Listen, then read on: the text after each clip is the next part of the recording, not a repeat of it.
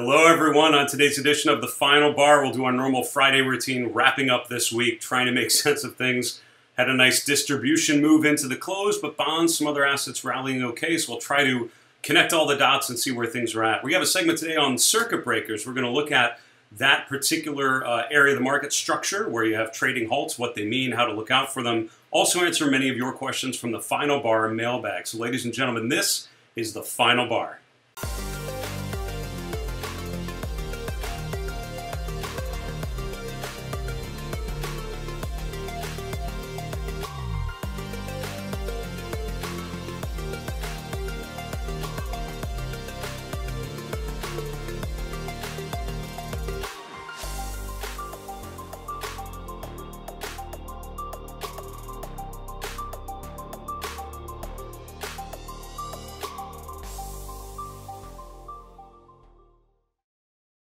Hello, everyone. Welcome to the final bar. I'm your host, Dave Keller. I'm the chief market strategist here at stockcharts.com in Redmond, Washington.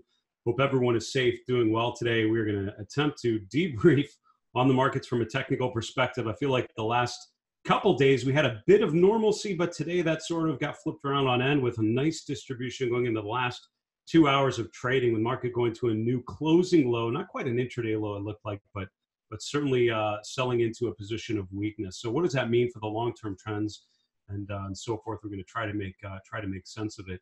Um, you know, the last couple days, thinking of my guests the last two days, you know, we talked a lot about breadth, we talked about sector rotation, and just trying to get a sense of where things are at. You know, if you're looking at the markets now with fresh eyes, what do you see? And again, what we'll, what we'll I hope to make the case for is I see a lot of signals suggesting we are beginning earlier in the process, not later in the process of, uh, of bottoming out here. Today, maybe sort of gave us uh, a little more evidence along those lines. Getting to the schedule here, we got a lot of great experts on Stock Charts TV and StockCharts.com. I hope you're taking advantage of their expertise.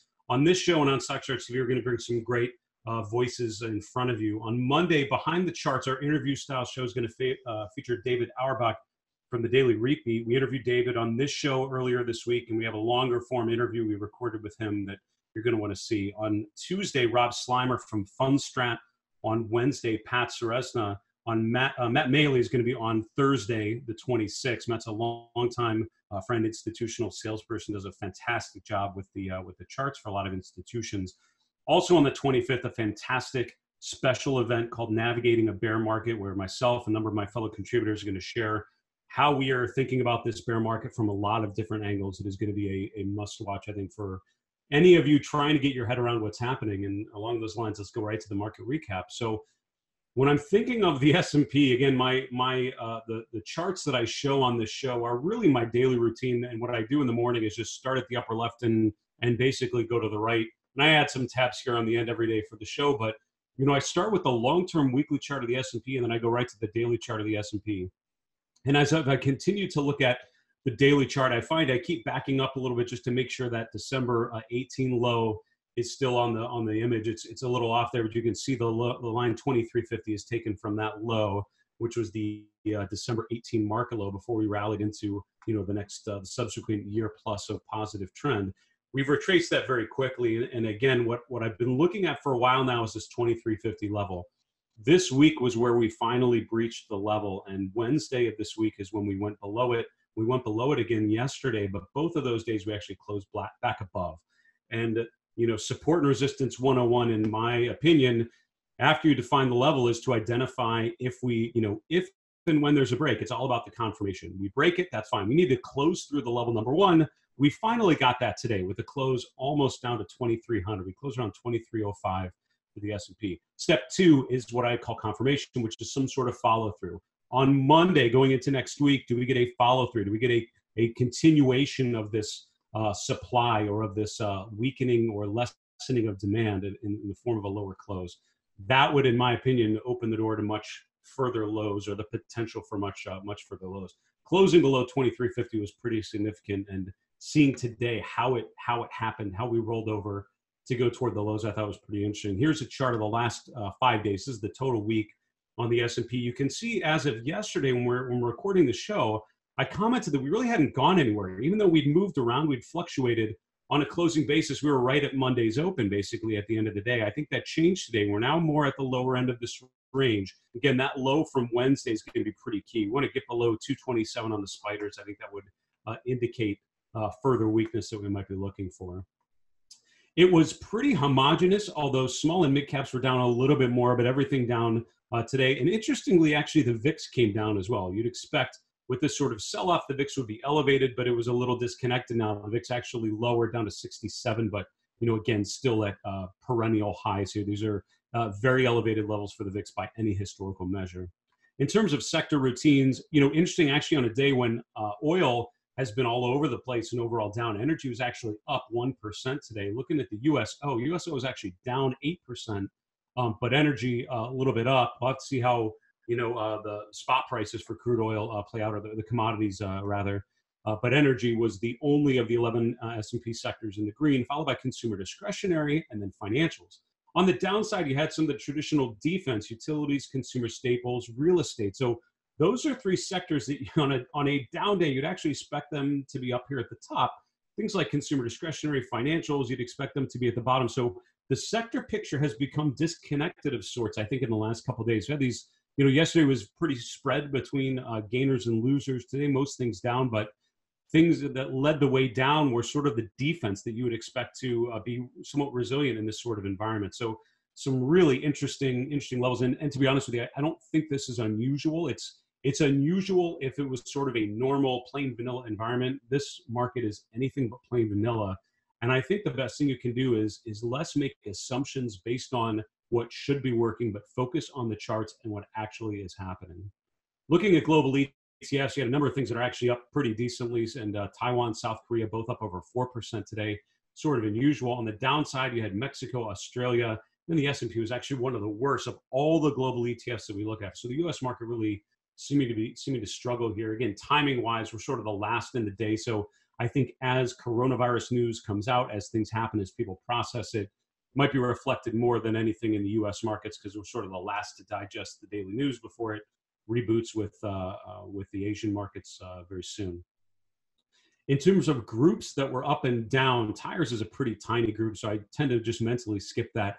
I am very interested to see things like gambling hotels, recreational services. These are groups that have done very poorly. Also, airlines, uh, all uh, bouncing, and the, the charts still look very uh, fairly negative. They're, they're certainly more in a bearish phase, but a nice sort of reaction bounce. Something like the gambling and hotel groups were up, you know, eight nine percent today. So uh, you know, coming off of very beaten down levels. Again, the a trend is not made of one day; it's a sequence of days over the longer term trend. I still think you know, by, by most trend following measures, the trend's still decidedly down on those. See a number of energy groups down here as well, like E&P stocks, exploration and production pipelines. This is why the energy sector was sort of one of the, um, the better, uh, better groups. On the way down, you have things like recreational products. You know, water has actually been a theme that a lot of people have been interested in outside of what's all been happening uh, sort of macro thematically, you know, just the idea of sustainability and, and so forth. But the water group in particular has gotten uh, gotten crushed in the last couple uh, last couple days. Actually, the second half of this week uh, really got beaten down on it. Also, fixed line telecoms. That's something like AT and T, Verizon. I want to say those are all in that group. So um, that getting hurt is a, sort of a bit of a head scratcher in terms of what should be working right in this sort of environment. So again, more more than ever, I think this is a time to be paying attention to the charts. Don't think as much about I'm you know I'm looking to put risk on. So here's where I want to buy. Focus on what's actually happening. Focusing on the charts, I think, is what's going to help you uh, survive and thrive through this sort of environment. We didn't talk as much about bonds, but just to wrap up our market recap, it's worth noting the TLT was up big today. So we had this issue with stocks and bonds selling off. That changed today with stocks going down, but bonds actually rallying pretty hard. The 10 year yield going down uh, significantly as well. So certainly a move to safety in the fixed income markets that's our market recap for today. Again, I, I, feel like we touch on, we scratch the surface on these things. There's so many themes to try and uh, unpack. We didn't get to a lot of individual names, but I hope as part of your weekend routine, that's sort of what I hit it on Sundays. I try to hit individual stocks a little harder and see what sort of patterns I can come up with. I hope you can do the same. Next segment is the final bar mailbag. One of the things I love about this show is answering uh, your questions, sort of, uh, you know, opening up uh, to to any uh, thoughts, suggestions, questions about the market, about the structure, about the environment, about uh, you know patterns, technical analysis, anything is fair game. Just shoot questions to us at the final bar at stockcharts.com. We get a lot of questions from you. We read all of them. Try to get to them as much as we uh, as we can. Question number one. I'll try to just keep the list small, but have to uh, have to get in here. A couple questions. So a segment earlier this week was I'd read the article in Barron's, as, as, many of you probably had, talking about stocks with big dividends, dividend yields. And as stocks sold off, a lot of those dividend yields started to look more and more attractive. So here's AT&T. The dividend yield back here was probably five to six percent, and now it's over seven percent because the prices come down so much. And if you think that's big, look at something like ExxonMobil with a, a dividend yield above ten percent and had a couple questions related to that, which I with I, which I'd love to address here. You know, the one uh, which was very thoughtfully done. You even include tables of some data, so thank you so much for taking the time to do that. And you're absolutely right. The question was, you know, when you look at yields on dividend-paying stocks, they've jumped as a consequence of the prices dropping through the floor. You really need to look at the company's ability to continue paying the dividend in the future. Isn't that right?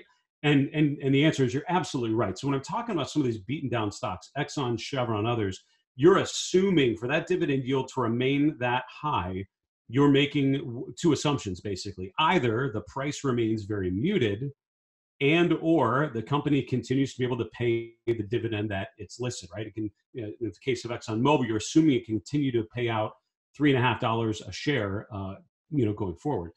If oil prices are down where they are, if the stock's down where they are, if the business gets hurt really bad because of that, the ability of a company like Exxon to be able to continue to pay dividends at that level totally fair. And so usually one or two or both of those things would most likely change, right? The price will recover. And usually there's a period of time where if the price recovers, you'd assume a company could weather that okay. Uh, option two, the company lowers their dividend and that will bring the yield back to a more reasonable level. And you're absolutely right um, about those two points. My, you know, my point to that is you have to you know the assumption you're making with any of these things looking in dividend yield is that you're consuming a consistent dividend yield going forward and that is a huge assumption. So absolutely right caveat emptor let the buyer beware if you are if you're making those bets.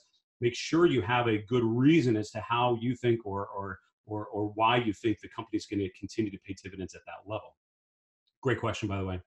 Uh, question number two is there any way that in the future we could sort by dividend yield? I think that's a great question. I love that. And I say it on air just to remind myself to talk to Chip and Grace and the other others on the management team to remind them how important I think some of these things are. You know, on our charts, if you look at the bottom, some of you may not have noticed, but behind all these ways, underneath all the ways you can customize the charts, you have these links, and the simple summary page is one of the newer features that we've added on stockcharts.com. This is one of the first ways that we've really expanded our fundamental data on stockcharts.com. Traditionally, we have not had very much. We are actively trying to improve that and upgrade the ability uh, of all of you to understand companies, the entire company, not just the price of the stock, but the whole whole business through stockcharts.com. And so this is step one of a multi-step effort to get more of our fundamental data in here. A lot of these items that you see on here, you you can currently screen on, or you will very soon be able to screen on using our scanning engine. So we're able to screen on things like dividend yield and other, other things more and more over time. Also, we're looking to chart these data points over time. So we could chart things like PE, other valuation measures over time along with the price, make some analysis uh, that way. Also being able to visualize things in a tabular format. I think that'll be part of the scanning engine as well. So I am very keen on sorting by market cap and dividend yield and a number of other things. And I guarantee you it's on the list of things we are totally working on. Next question, and thanks again for all these. These were very, very, very, very well done. Um, yeah, I talked about commodity ETFs. I think this was yesterday, and the one that I mentioned in particular, um, I usually look at things like DBC and some of the others, GCC, the CRB index. You know, to be honest with you, when I'm showing commodities, I try to pick commodity. I am sorry, when I show ETFs, I try to pick ETFs that I think best represent the underlying asset. So when I'm looking looking at the USO or DBC or GLD or any of those, I'm not thinking of things like K1s or the tax implications of buying them. I'm looking at them because I think they represent the price of the asset and more and more importantly the fear and greed underlying the movements in price so i'm trying to look for liquid etfs that i think are highly traded heavily traded and can represent where the supply and demand where the fear and greed are moving to um, so the question was in particular what about the K1 on something like DBC? Should we be looking at things that don't have a Q, K, K1? And again, if you're not familiar with it, that's some uh, uh, part of your tax filing. You have to uh, with certain partnership type of uh, structures. You have to uh, file you get a K1 as part of your uh, tax preparation. It can be a bit annoying. I've, I've gone through that for sure. The PDBC is actually a particular ETF that does not have a K1. So um, you're absolutely right. And my, my qualification to any of the ETFs I show you is don't just look at the ETF um, because of that, uh, because of the because of the fact that I'm showing you, always make a better assessment for what an ETF would mean for your own personal process. And I think something like a K1, whether or not something pays that uh, or, or requires that, should be part of your process. My last question is on Pring's Bottom Fisher Index, which is uh, exclamation point PRB fish. And listen, one of the things I love about doing the show is some of you have asked questions about things I really don't know a lot about. I didn't know this was on the platform, and I was thrilled to learn it. So I'll tell you what I learned, and thanks so much for the question. Uh, Martin Pring, who we are, are, thrilled to have as one of our featured contributors, has created a number of indicators. The KST, or the Know Sure Thing indicator, is one that I've used at times. And if you look at Martin Pring's blog, you'll see it, and the show, you'll see he uses it fairly often. We have an indicator called the Pring Bottom Fisher, which basically rolls up the KST readings, those uh, momentum readings on a bunch of stocks in the Dow, and actually smooths that out. So it's actually showing you um, it's trying to identify when the Dow members are starting to turn higher. So one of the charts that I've actually added to my list, which I'd encourage you to look at as the same, is the S&P 500. At the bottom, I have the PRB fish, which is the um, uh, that know sure thing indicator, the Pring's bottom Fisher indicator, and then I did a 10-day moving average of that, which is here in blue, and I'm looking at when they cross up and down through one another. When the market is down, when this indicator is low,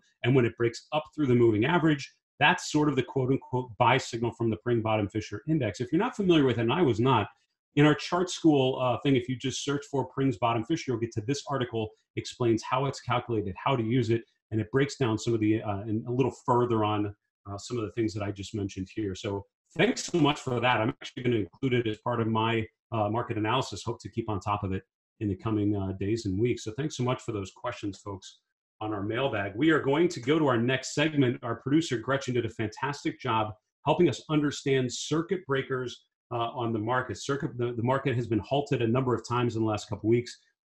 That's due to the market circuit breakers that are in place. She put together this little video which explains to you what they are, how they're implemented, and how you should think about it. So here is our segment on circuit breakers. On Monday, March 9th, trading was temporarily halted for the first time in over 20 years after a sell off triggered an automatic trading curb, also known as a circuit breaker.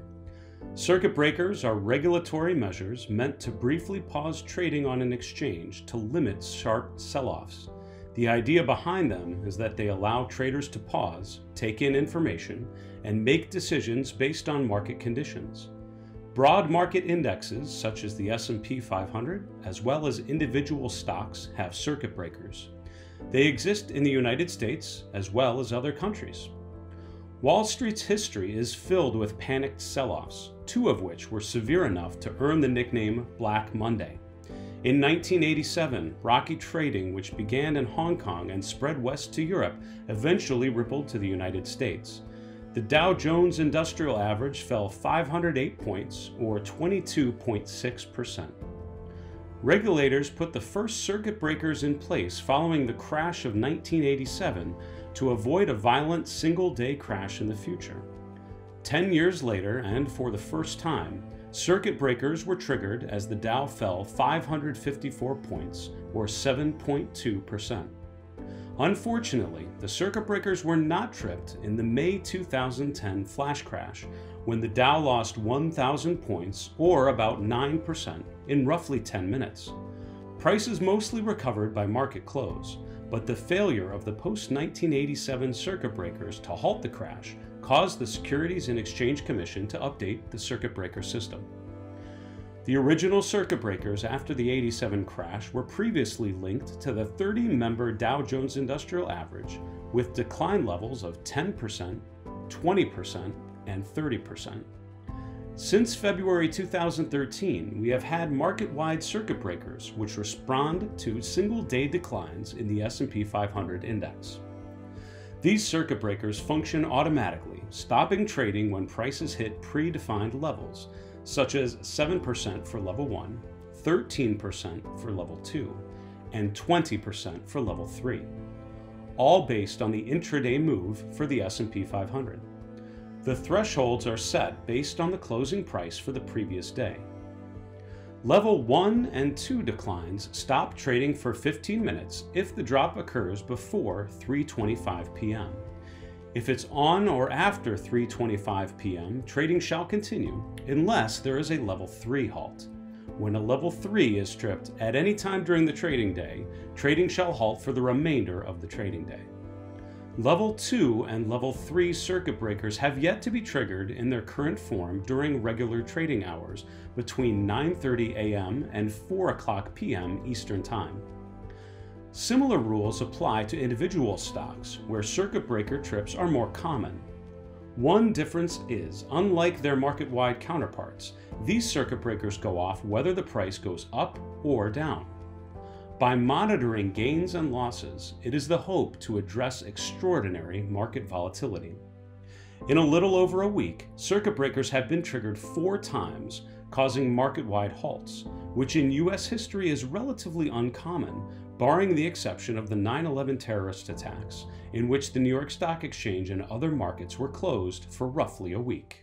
So that was our summary of the uh, circuit breakers and what they are, how they uh, get implemented. Kudos to, to Gretchen, our producer, for putting together a really, really well done video uh, explaining all of that. Uh, you know, it's funny. I've I'm familiar with them and I've been aware of them for a while, but going through the process of you know helping her think about how to uh, put that story together uh, was was actually really helpful. Just remind myself about about the history of those and how to think about them to be honest with you and, and you know and in general i mean how do you think about them when they come along the whole point of the trading halt is to you know take a breather let things settle down let things kind of come back together and so that things open up in a little more orderly fashion but when it's when it actually happens usually things reopen to a bit of chaos and usually when there's been a circuit breaker when it opens again there's a bit of a continuation a bit of a continued sell off there so i think more often than not you know, be very wary when we get to those thresholds. When the market starts getting down five, six percent, um, be wary that there could get a point not far off where you may have to wait a little longer than normal to get filled at a certain level. So um, that's our special there. We're going to continue on to our next segment called Wrap the Week. And every Friday, we like to take a step back, try to look at the big picture. We actually asked uh, you guys a poll. Uh, and again, there's always a poll running on the Stock Charts TV window. So as you're watching our shows live, uh, you can answer the polls or at any point go to the Stock Charts TV page. You'll have a poll open there. We love to gather uh, some of your ideas because it helps us to think about how you all might be approaching this market and gives us ideas about how we can provide better programs, etc. And one of the, things we just asked was about Apple. Um, will Apple make a new all-time high again this year? 69% of you said no. Over two thirds, only one third of you, about 31%, um, said yes. I did not vote in this poll. Um, but when I'm thinking about it, you know, the chances of Apple going back to a uh, to the 330 level, uh, boy, that seems like such a far way around away from now. Um, again, but the kicker is we're only in March, right? And I think that's the, the that's the challenge. When you think about how much the market has come down, two things come to mind with Apple. Number one, Apple has come down a lot less than everything else. You can see that this relative strength has been just consistently up and to the right. I think that's one of the things that most impresses me about some of these big tech names, and Apple's probably one of the better uh, examples. It's a big benchmark name for institutions. It's been up pretty consistently on a relative basis in uptrends or in downtrends. The XLK coincidentally looks very similar to that. If you look at the price and the relative uh, relative movements on a pure price basis, it certainly isn't a valid downtrend and doesn't show any signs of alleviating that. But the relative strength has been pretty positive. The question wasn't, do we think it's going to outperform? It was, is it going to return back up to the 330 level, that's 100 points away on Apple. If I had to pick, I'd probably say no. I, I doubt that the market would, it would take a V bottom or an accumulation of sorts that would really push things uh, back higher. And the market would have to recover enough for, for, for stocks like Apple, which are going to outperform, to continue to be in that position of leadership. I don't know if I see all those things happening, but listen, I've been uh, plenty of times incorrect on those things. So you may, uh, you may be right, uh, yeses, but uh, but thanks so much for answering those questions. Let's wrap the week. Continue uh, continue on with this process. What I like to do is look at the Mindful Investor Live chart list. If you don't, if you've not seen this, go to our articles page. Go to the Mindful Investor, which is my page uh, on stock charts, and you'll see a little link to save the chart list to your own uh, login, and, uh, and you can actually have this on your login to review. you know the thing to remember with the market trend here as we're wrapping the week and we've we've we've hit it a number of different ways this week so far so i don't want to belabor it too much but you know the trend has certainly come down i think it's really interesting to note as of friday's close it is almost but not quite turned my very long term trend following model negative i when i when i started talking about this a week ago i picked up a little bit of heat because it didn't turn negative and, and my response is it's not designed to turn negative that quickly it's designed to be a tap the brakes mentality and only go negative when a downtrend is firmly in place with some staying power. And that requires some time in there. We just haven't had it yet. But boy, next week, if we continue a little bit further or even stay at these levels, I think you'll find uh, this triggering uh, triggering a sell signal if it hasn't already. The tactical side of this, and this is what I think is so important, has been negative and has remained even more so negative. And that was the first sort of warning uh, warning signal for me.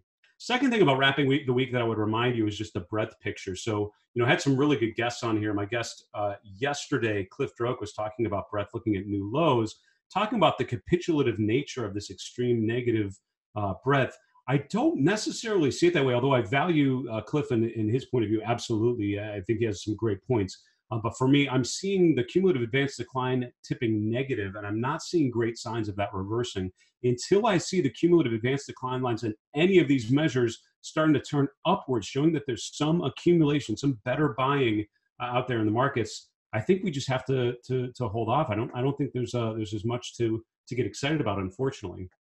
The final thing I'll remind you to wrap the week, and sorry we had a little less time than normal um, for it uh, today, but I would remind you to look at the SCTR rankings when I'm looking at the member dashboard looking down here. These are the day-to-day rankings. If you go to the full SCTR reports, you can do the SCTR changes week to week. And I love to look at that for industry groups and also look at that for stocks. And you'll find the things that are really fluctuating. It's all percentile based. So it's going to do a relative movement of all of those stocks. It's going to show you which stocks are still in a position of strength.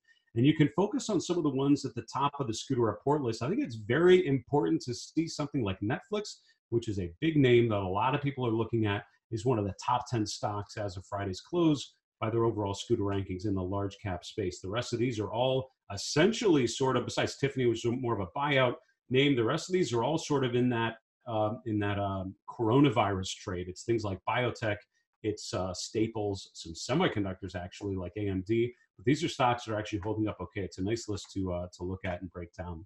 We need to fo- finish up the show, folks, by going right to the three and three. It's going to be about the three and two, maybe one and a half but we're going to do it. So chart number one is the USO, the U.S. Oil Fund. Uh, oil was down again today. It's been incredibly volatile, and again, the long-term history of oil. If you look at um, the oil uh, commodity on, on our platform, you can see it. USO is a great way to look at intraday movements in oil, and you can see that the USO was down eight percent today. We'll have to see where crude oil uh, finished the week, uh, but overall, certainly still in a position of weakness. And when I saw yesterday that big bounce, I heard people saying, oh, great, maybe oil's bottoming out. Do not get too excited about short term movements like that. Remember, trends are made up of multiple days and multiple moves. Chart number two is looking at the breadth in the form of stocks above their 50 and 200 day moving average. I only point it here because when the, when the indicator got down to where it was in December 18, which was just below where it was in 2015 to 2016, I heard people getting a little excited, thinking, okay, great, this is where things tend to bottom. But if you look, we have remained now below 10% for about a week plus. In this sort of environment, if you look back to the 2009 period or so, or 2008, 2009 period, you will see a similar thing where the indicator got below 10% and remained down there for an extended period of time, for months actually. I would argue that's sort of the environment we're in here. And the, the third of our three and three is looking at growth versus value. A lot of people when the market gets beaten down, they start looking at value oriented names. But I found with this ratio, it continues to be elevated, continues to increase, suggesting investors are leaning still more toward growth and value. We're in an interesting environment now where things like Apple and Microsoft continued more growth name or considered more growth names in this sort of methodology, and that those big cap tech stocks are where people are tending to go. That's why they're outperforming so well. So that ratio is still suggesting that the big cap growth trade is the place to be. It's not the time just yet to go into value, or, or what it hasn't done is, uh, is value has not really materially improved anywhere uh, anywhere in the yet. So until you see an improvement in that ratio, tells me to stick with growth. So, ladies and gentlemen, that is our show, and that's the week for the final bar. Boy, thanks for sticking with us through these weeks as we try to navigate this market, navigate social distancing, all the things that we're doing working remotely. Really appreciate our our gift to provide ideas, provide context to you. For StockCharts.com in Redmond, Washington, I'm Dave Keller. Have a great weekend. Be safe. Bye now.